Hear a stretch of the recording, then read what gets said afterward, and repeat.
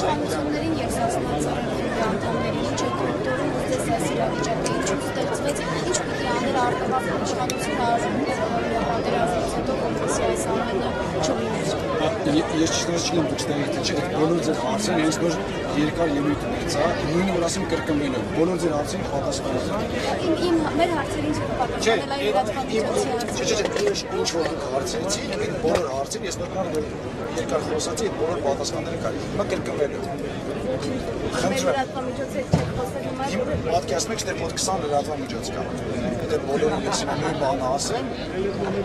չեմ կարծում։ Ինչ է գործում իշխանությունների Ես ասացի, գեր նպատակը այսօր էր, այսօր է ոչ թե ընդհանրապես, այլ այսօր է գեր նպատակը այս իրավիճակը առած առայժմ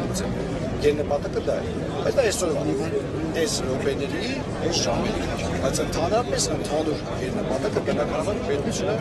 քանի որ հայտնվել է անուտի եզին, դերից մի քիչ հետ բերել է եւ արդեն բարձրացնել սա։ Իսկ տարբեր գնահատականներ են Ոմանք աղաբեկիչներ են անվանում սաստակարար խմբի անդամներին, ոմանք հերոսացնում Դրա են մասին ձեր խոսել եմ, դրա մասին խոսել եմ։ մեծ չեք ասում։ Խնդրում չեմ ժապի կարող եք ասել, վերցնել։ Իրոք նույն բաները ասում եմ եւ հետ մի քիչ հետո գնամ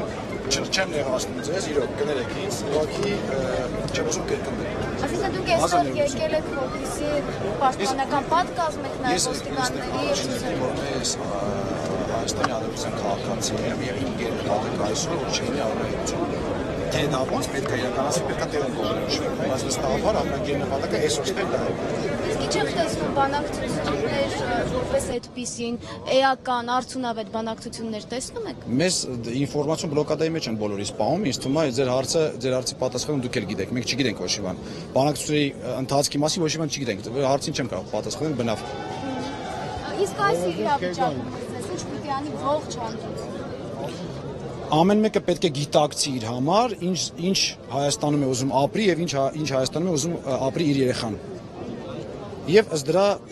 արդեն կողմնորոշվի ինչ է անում։ Մենք միշտ տարբերվել ենք խաղաղասեր լինելով, օրինակ եթե հիշում եք նախորդ տարի Բաղրամյանի դեպքերի ժամանակ էլ, երբ որ ցուցարարների նկատմամբ ուժեր կիրառվում ջրցան մեքենայով եւ այլը, ցուցարարները պահում էին այսպես ասած բալանսը, բայց 3 կարծես թե երկու կողմն էլ չափը անցան, սահմանագիծը անցան։ Ինչ պիտի անենք, որ խուսափենք այս ամենից։ Գիտեք, իբր նյարդերը լարված են անգամ ֆուտբոլային հանդիպումներից հետո լինում են բախումներ, այնպես որ երբ որ հավաքում է տարբեր կողմերում շատ մարդ եւ իրենք ինչ որտեղ իրար դեմ են կանգնած, ինչ որ մի բան միշտ լինում է։ Այսուհետ խուսափելու համար բնականաբար պետք է անել, որ այսպիսի սիտուացիաներ չլինեն։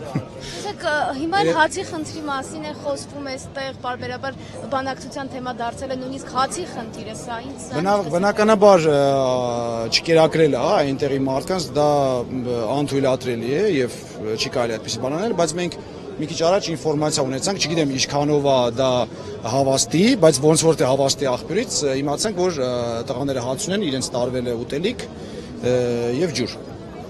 Բայց նորից եմ ասում, այդ ինֆորմացիան չստացի, որ ես եմ ասում ու վստահաբար, ես լսեցի այդ ինֆորմացիան, չգիտեմ ինչքանով է ճիշտ, բայց ոնց որ թե ասին ճիշտ աղբյուրից է։